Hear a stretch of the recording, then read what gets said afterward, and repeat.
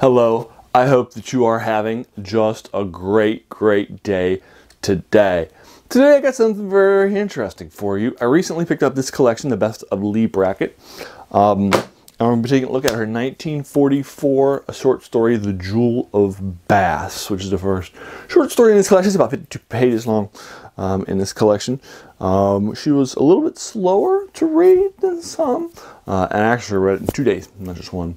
Uh, it took me about about a about an hour and 15, hour and 20 minutes for me to knock it out. Um, this is my second short story that I've read by Leigh Brackett, and I've reviewed it for you. The first one I reviewed for you. Um, so, uh, and that one was Lord of the Earthquakes, uh, which I had in the collection of uh, stories that were about Lemuria or Atlantis uh, that I have reviewed for you with stories by Manly Wade Wellman uh, and others well, that was it. So I've reviewed that for you already. I wanted to do a bigger look at her. I wasn't super impressed with Lord of the Earthquakes. But then you never know. You know, just because your first story you read by somebody, you don't know if that's going to be, the, you know, one of the best ones, right? It could it could just been, you know, uh, one one of the lesser ones, right? Uh, and that sort of thing. So I, I, did some research. Saw that there was a publication out there called The Best of Leigh Brackett, Decided to pick it up, and we're going to start reading it. And so I finished Jewel of Bas 1944 uh, from last night, and I wanted to go ahead and review it for you this morning so we can knock it out.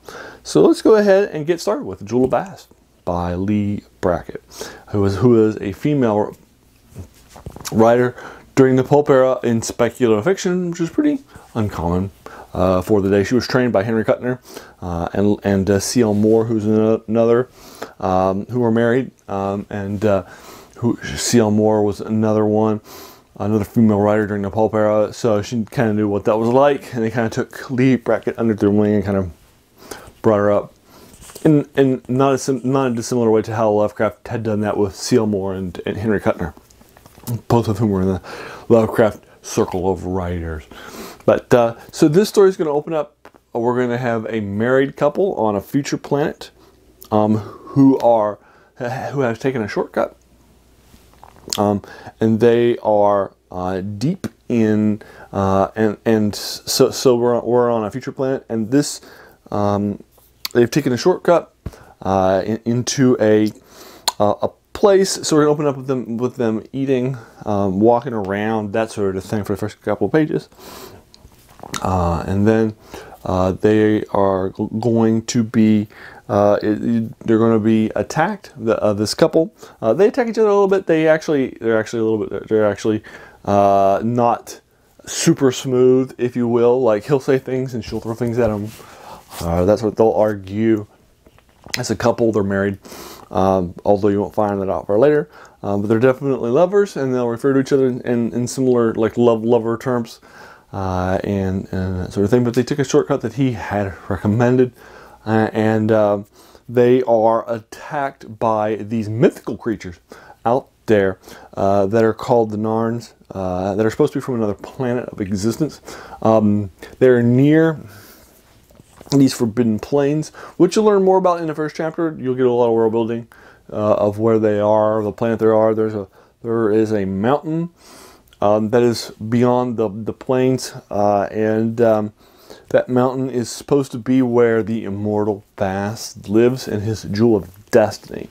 Um, the immortal Bas, according to all the legends, um, has created the world um, and still lives there to this day. He's a god. Um, and uh, he came from another planet, the third planet of the sun. And um, uh, he is a uh, he's an interesting person. According to the myth, he came from the third planet of the sun.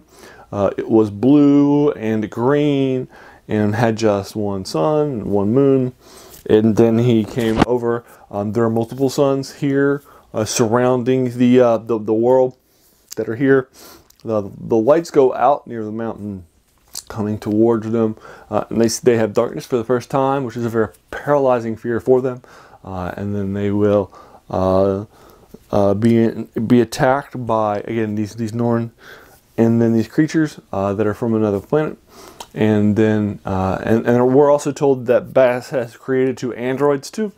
Uh, and um, they'll be captured and turned into slaves at the end of the first chapter. Uh, and there are seven chapters in this short story. So there you are. I'll go ahead. That, that's kind of uh, the the setting, if you will, for the Jewel of Bas. Now, Jewel of Bas is a sword and planet story. Uh, it's not not on Earth, but it's, it's not, and it's got like androids, aliens, uh, and a character from from from Earth, uh, but who has colonized this, but it's a low tech feel. Uh, the the the male one of this couple, who's one of our point of view characters, is who refers to himself as a bard. He plays the harp um, and has the harp with him. Uh, he um, uh, they they their food, their clothing is leather, right? It feels low tech, if you will, and sort of feels like a sword and sword and planet sort of style of a, a low low tech uh, features. They're still on on, on things.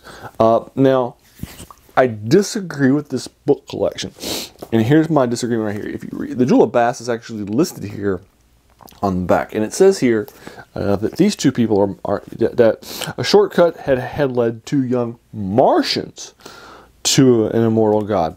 Uh, I don't remember any cues in this short story that said that they are on Mars. I don't remember them referring to any uh, of the places on Mars. That would help you know that they were actually on Mars. Um, it does have uh, more than one uh, sun in the sky that they call sunfires. Um, and um, and it has more than one, and they never set. Uh, so the planet's in uh, is in light. Now that could have been because uh, Bas created that when he created the world, right? He could have added those when he created them with, with this with this uh, with the Jewel of Destiny. That's certainly possible. Um, but uh, so it could be Mars, you know. Uh, and, and, it might have been the case that Leigh Brackett meant for it to be Mars, but there's nothing in the book, uh, or short story rather, that says to me, hey, this is Mars. There's no, you know, features that were in Mars, like craters, uh, that are called out, right? Um, no point does it say it's the fourth planet in the sun rather than the, the third. Nothing like that seems to imply. So this could be, um, it seems to me from the, from the, from the context clues of the story itself, that this is probably not set in our, in our solar system that would be be somewhere else. But again, uh, I'll, it, does say Mars on the back of the cover, so I, I disagree with that based on the context clues to the story itself. Although again, it's possible it's Mars. It's possible that that was changed uh, by by Bas, the godlike creature character who you'll uh, meet in the short story. Um, I do give it. I'm, i was I was a little bit flummoxed as to what, what I give it a short story as a rating. Would I give it a six or give it a seven? Uh, it feels a little bit between the two. I don't like to give halves. I never give given a half. Um, so giving Leigh Brackett credit, I'm um, giving her a 7 out of 10 uh, instead of a 6 out of 10. I'm rounding up. It's a 6.5, 6.6, 6.7. Um, it does have some pacing issues. Uh, it's it's it's longer and from the pulps, which is unusual. It doesn't need to be. Um, uh, the the female character in this does have some typical female character-ish things from the pulps. Uh, it doesn't really break out of it, the stereotypes of the characters in the pulps.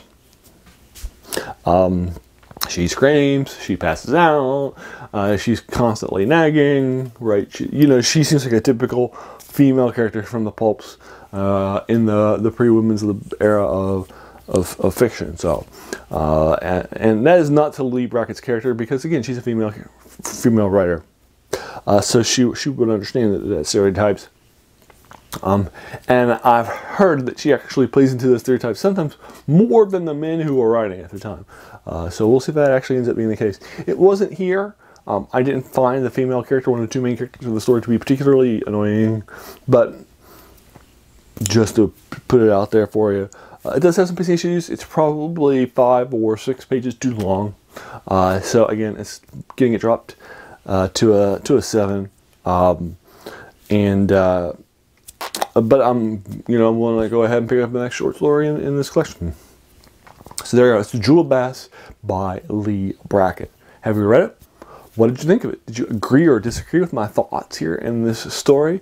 Um, if you enjoyed this video, please feel encouraged to hit that subscribe button. There's going to be a lot more of this following fantasy, science fiction, horror, and stories like this that blend science fiction and fantasy together.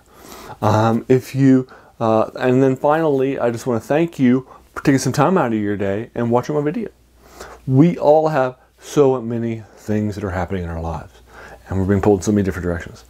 So the fact you spent this time with me is incredibly humbling, and I appreciate it. Thanks again, and have a great day.